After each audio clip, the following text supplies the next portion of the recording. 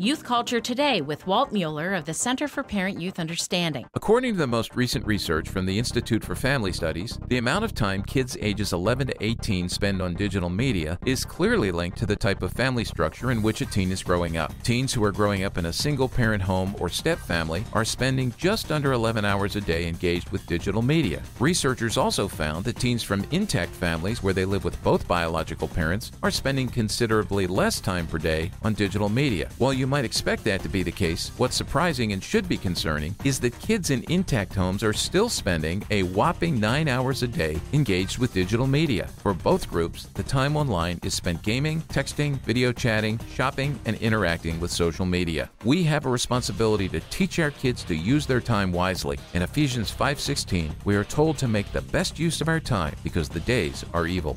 For more on youth culture, visit us on the web at cpyu.org.